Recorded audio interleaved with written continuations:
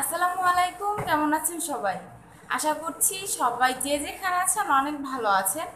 তো আমরাও আলহামদুলিল্লাহ অনেক অনেক ভালো আছি। তো অনেক অনেক ভালো থাকার কারণ হলো আজকে আমরা বাড়ি যাচ্ছি।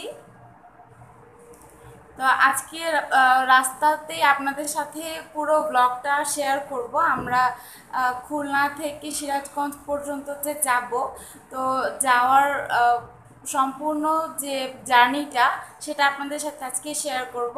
তো আশা করছি আপনাদের ভালো লাগবে। আর আমরা এখানে সবাই রেডি হয়ে গেছি। বাবু, এসো। এই যে সাফরিনও কিন্তু এখানে রেডি হয়ে গেছে। আর এই যে পেছনে পেছনে হচ্ছে ওর জুয়েলারি বক্স নিয়েছে।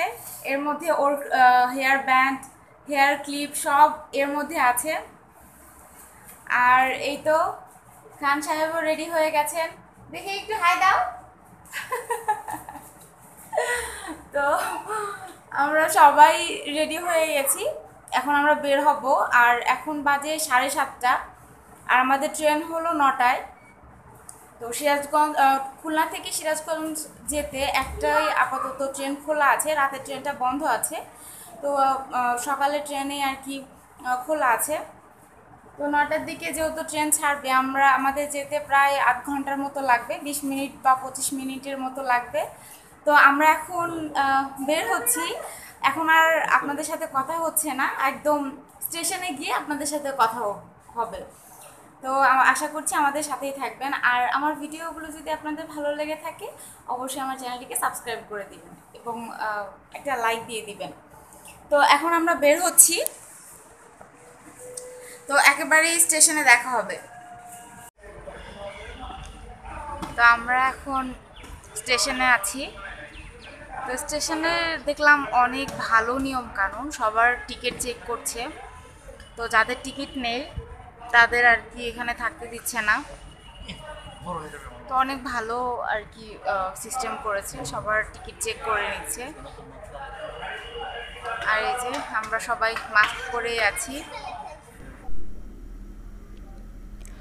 আর এই যে আমরা এখানে একটু সময় পেয়েছি, ট্রেন এখনও আর কি স্টেশনে পৌঁছায়নি। তো এই জন্য দুজনে মিলে একটু খেলাধুলা করছিলাম। আর এই যে বাবু তো অনেক খুশি কারণ ওর দাদু বাড়ি যেতে পারছে। তো দাদু বাড়ি নানু বাড়ি সব একসাথেই পাশাপাশি গ্রামে। যেতে বেশি সময় লাগে না, তো যার জন্য সে খুবই খুশি। তো খেলতে খেলতে এই তো আমাদের ট্রেন এসে গেছে। তো এই যে ট্রেনটা এখন এসে গেছে, আমরা ধীরে ধীরে উঠবো। আর ট্রেনটা কিন্তু সঠিক সময়ে এসেছে।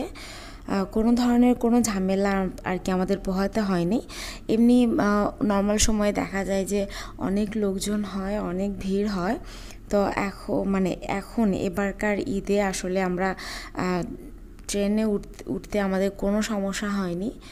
যদিও এটা শেষ স্টেশন, তারপরেও লোকজন তো ভিড় থাকে, কিন্তু এবার একদমই ফাঁকা ছিল। আর এই যে ট্রেনের ভেতরটা আমি একটু দেখাচ্ছি। এখানে একটা, একজন পরপর কিন্তু বসেছে, যারা দুটো সিট কেটেছেন, তারা কিন্তু মাঝখানেরটা মানে মাঝখানেটা সহ তিনটা সিট পেয়ে গেছেন। আর যারা একটা টিকিট কেটেছেন, তারা কিন্তু এই যে পাশে যে দুটো সিট আছে। এই দুটো কিন্তু ওই একজনারই হয়ে গেছে। তো টোটাল কথা হলো, এক সিট পর পর আসলে বসানো হয়েছে। আর বাবু ওই তো একবার শুয়ে পড়ছে, একবার বসে পড়ছে, এরকমই আর কি। ও সারা দিন এরকম চলতে ছিল, সারাক্ষণ। আর এই যে আমি ওকে, ওর একটু শীত শীত লাগছিল, তো আমাকে বলছিল যে, মামুনি আমার একটু শীত করছে। তো যার জন্য আমার একটা ওড়না ছিল, এই ওড়নাটা ওকে পেঁচিয়ে দিয়েছি। আর এই আমার আমার সিটে একবার বসে, বাবার সিটে একবার বসে, ওর মাঝখানের সিটে একবার বসে মানে এরকমই করছিল, এক একটা সিটে একটুখানি বসে বসে আর কি খুব এনজয় করছিল। তো আমাদেরও জিনিসটা, ব্যাপারটা ভালো লাগছিল। তো এই যে দেখেন কতটা আসলে দুষ্টু হয়ে গেছে। আগে তো বাবু আসলে ওরকম কারোর সাথে মিশতে চাইতো না কথাও সেরকম বলতো না। তো একটা জিনিস আমি খেয়াল করেছি, ও স্কুলে যাওয়ার পর থেকে আসলে ওর মধ্যে মানুষের সাথে কথা বলা বা মেশার যে আগ্রহটা, এটা কিন্তু অনেকটাই বেড়ে গেছে। আর এই যে আমি বাইরের দৃশ্যটা আপনাদের একটু দেখানোর চেষ্টা করছি। ট্রেনে গেলে আসলে এরকমই আমার কাছে এত ভালো লাগে, গ্রামের মধ্যে দিয়ে ট্রেনটা যায়। তো কোনো ধরনের কোনো সাউন্ড নাই কোনো ধুলাবালি নাই, গাড়ির হর্ন নাই। আসলে এটা অন্যরকম একটা আমার কাছে ভালো লাগা। কারণ ট্রেনে গেলে আমরা দেখা যায় গ্রামের ভেতর দিয়ে গেলে নদী, নালা, খাল, বিল গাছপালা সব কিছুই আসলে দেখার কিন্তু সুযোগ হয়। যেটা বাসে গেলে হয়তো বা সেরকমটা হয় না আমার কাছে মনে হয়। তো ট্রেনে, খুলনাতে আমরা আসার পরেই আর কি ট্রেনে যাওয়ার, বারবার ট্রেনের জার্নিটা করার সৌভাগ্যই বলতে পারি, সৌভাগ্য হয়েছে। তার এই যে খুলনায় যে আমরা এসছি, তো তার আগ পর্যন্ত কিন্তু এত ট্রেনে আমরা উঠিনি বাসে। আমরা যেহেতু ঢাকায় ছিলাম, তো বাসে আমাদের বেশিরভাগ যাতায়াত হইতো। তো খুলনা আসার পর ট্রেনটাই আমাদের একমাত্র বাড়ি যাওয়ার অবলম্বন। তো এই যে দেখতে পাচ্ছেন গাছপালা খুব সুন্দর লাগছে না দেখতে। আমার কাছে তো ভীষণ ভালো লাগে। তো আপনাদের কাছে কেমন লাগে আমাকে কিন্তু অবশ্যই কমেন্টে জানাবেন। আর আমার বাড়ি তো সিরাজগঞ্জ, তো সিরাজগঞ্জের কেউ যদি থাকেন অবশ্যই আমার, আমাকে কমেন্ট বক্সে জানিয়ে দিবেন। তো দেখি আমার সাথে কার বাড়ির কতজনের বাড়ির মিল আছে। তো আপনারা কিন্তু অবশ্যই অবশ্যই কমেন্টে আমাকে জানাবেন আপনারা কে কে সিরাজগঞ্জে থাকেন। তো এই তো কিছুক্ষণ আসুন একটু বক বক কম করে এই সুন্দর প্রাকৃতিক দৃশ্যটা উপভোগ করি।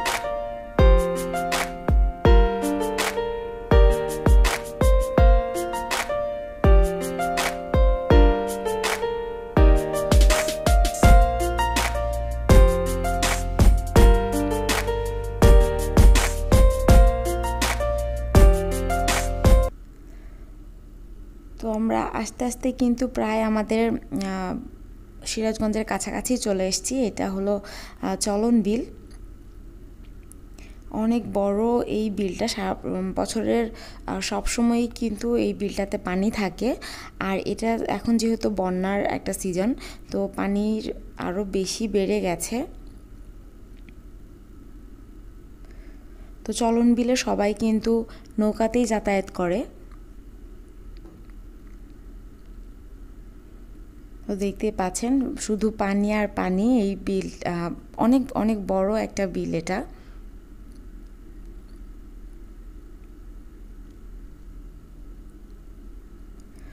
আর আমি, একটা বদভ্যাস আমার আছে, আমি গাড়িতে উঠলেই কেমন যেন ঘুমিয়ে যাই, তো ঘুমোতে ঘুমোতে আমি এই চলন বিল পর্যন্ত এসে আমার ঘুমটা ভেঙে গেছে। তো এই অবস্থা। আর এই তো এখানে আমরা কিন্তু স্টেশন থেকে নেমে পড়েছি। আর যে বাবা মেয়ে দুজন আগে আগে যাচ্ছে, আমি পেছন পেছন যাচ্ছি। আর আপনাদের ভাইয়ের হাতে যে বস্তাটা দেখতে পাচ্ছেন, এটা কিন্তু সেই যে চুলা কিনেছিলাম, আমি বলেছিলাম যে আমার যে আগের চুলোটা আছে সেই চুলোটা আমি বাড়ি নিয়ে যাব। তো এই বস্তাতে কিন্তু সেই চুলাটা আছে। তো আমরা একটা সিএনজি ঠিক করেছি, একদম বাসা পর্যন্ত আমাদের নিয়ে যাবে। তো ওঠার আগেই আপনাদের ভাইয়া আর কি আমরা একটা স্প্রে বোতল নিয়ে এসেছিলাম। জীবাণুনাশক কি বলব লিকুইড ছিল। তো আমরা ট্রেনেও কিন্তু এভাবেই উঠেছি। আর ট্রেন থেকে নেমে আমরা সিএনজিতে ঠিক একইভাবে স্প্রে করে, সিএনজি পুরোটুকু স্প্রে করে তারপর কিন্তু আমরা উঠেছি। আর এই যে আমরা বাড়ির পথে রওনা হয়েছি খুব বেশি না প্রায় ওরকমই বিশ মিনিট বা ত্রিশ মিনিটের মতো লাগে কড্ডার মোড় থেকে। মানে আমাদের যে স্টেশনটা আছে সেটা কড্ডার মোড়ও বলি, আবার অনেক, আবার মুসুরালি স্টেশনও বলে। তো যারা রেগুলার যাতায়াত করেন তারা অবশ্যই হয়তো বা চিনবেন। তো মুসুরালি স্টেশনে আমরা নেমে গিয়েছিলাম। সেখান থেকে একদম সিএনজি নিয়ে বাড়ির কাছাকাছি। আর বাড়িতে গিয়েই কিন্তু একটা অনেক বড় ধরনের যে আমাদের জন্য সারপ্রাইজ আর কি আছে, সেটা আমরা আসলে বুঝিই নাই। আমরা নিজেরাই অবাক হয়ে গেছি যে সবার মনে আছে। তো কি সারপ্রাইজ সেটা দেখতে হলে কিন্তু অবশ্যই আমার ভিডিওটি সম্পূর্ণ আপনাদের দেখতে হবে।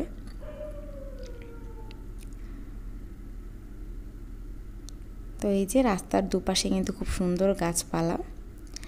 আর এই তো সেই মুহূর্তটা, এটা হলো সেই দিন আমরা যেদিন গিয়েছি, তিরিশ তারিখে আমরা সিরাজগঞ্জ গিয়েছি, এটা হলো তিরিশ তারিখ রাত বারোটার সময় এইটা। তো এই যে দেখতে পাচ্ছেন কেক কেকটা আসলে আমার মেয়ের মানে সাফরিনের জন্মদিন। ওর জন্মদিন হলো একত্রিশ জুলাই। তো আমরা ত্রিশ তারিখে গিয়েছি। ত্রিশ তারিখে যাওয়ার পর একত্রিশ তারিখ রাতের রাত বারোটা বাজে মানে একত্রিশ তারিখ, ত্রিশ তারিখ শেষ হয়ে একত্রিশ তারিখ শুরু হয়েছে রাত বারোটা। তো তখনকার এই ভিডিও ক্লিপটি আমরা আসলে কেউই জানতাম না যে ওরা এরকম করেছে। ওরা বলতে আমার ননদ আর আমার দেবররা সবাই মিলে আমাদের মানে বাবুকে আর কি অবাক করে দেওয়ার জন্য এই মানে কেকের আয়োজনটা করেছে। আসলে আমরা কেউই জানতাম না। আমি বাবুকে ঘুম পাড়াচ্ছিলাম মানে বলছিলাম যে ও জার্নি করে এসছে, একটু ঘুমাই। তো সবাই বলছে যে, না, আজকে আসছো, একটু আমাদের সাথে গল্প করুক, কথাবার্তা বলুক। মানে এভাবে করে আমাকে ওরা বুঝতে দেয়নি যে ওরা এই প্ল্যানটা করেছে। তো যখন আর কি এটা আমি বুঝতে পেরেছি, তখন সবাইকেই বকাবকি করলাম যে কেন শুধু শুধু এত কষ্ট করে এগুলো করতে গেলো ছোট ছোট? আর এই যে এটা হলো আমার চাচাতো দেবর। নাম অলিদ। এটা আমার ছোট চাচার ছেলে, ওর নাম হৃদয়।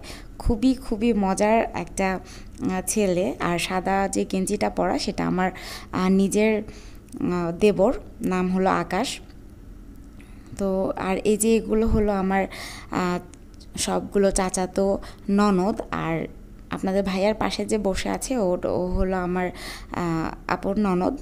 তো এই হলো বাচ্চা পার্টি। সবাই আর কি খুব মজা করেছে। আর আমারও খুব ভালো লেগেছে যে ওরা কেউই আর কি ভোলে নাই বাবুর জন্মদিনটা।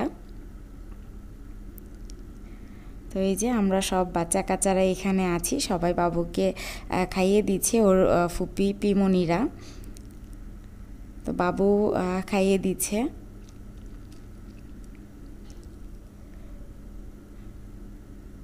তো মোটামুটি সবাই আসলে অনেকটাই খুশি হয়েছিল। বিশেষ করে বাবু তো অনেক খুশি হয়েছিল। ও বুঝতেই পারেনি যে এরকমটা হবে। তো হঠাৎ করে এরকম সারপ্রাইজ হয়ে গেছে। আসলেই ওর খুব ভালো লেগেছে।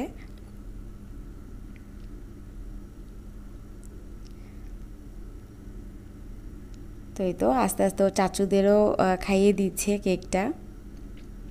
আর আমার পুরো মুখে তো কেকের ক্রিম লাগিয়ে দিয়েছে আমার দেবর ননদরা মিলে সবাই আমার মুখে ক্রিম লাগিয়ে দিয়েছে। আর এই যে কেকটা, তো আজকের মতো বিদায় নিচ্ছি। ভিডিওটি কেমন লেগেছে অবশ্যই আমাকে জানাবেন। সবাই ভালো থাকবেন, সুস্থ থাকবেন। আল্লাহ হাফেজ।